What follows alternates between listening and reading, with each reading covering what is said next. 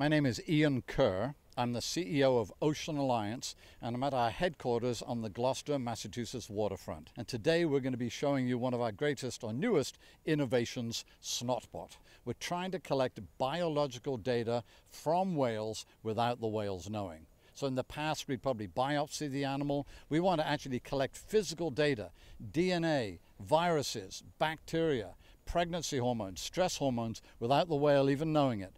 So we fly a little drone above the whale, about 12 feet above the whale. The whale exhaled. It's called exhaled breath condensate. We like to think of it as snot. And it just gets all over our snot collector on the bottom of our drone. And the drone flies back to wherever we are, giving us this priceless data. So today we'll be using Snot Yacht and Snot Shot to give us a test. And it's really just like a potato gun that's going to shoot water up into the air.